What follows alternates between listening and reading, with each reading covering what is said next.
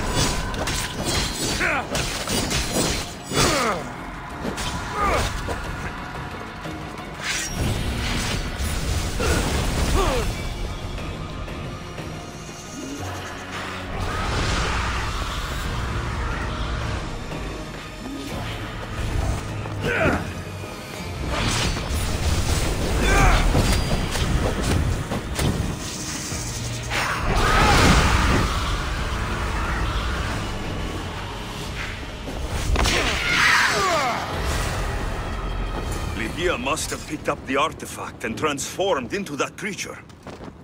I wonder how many people have become the writhing dread over the centuries.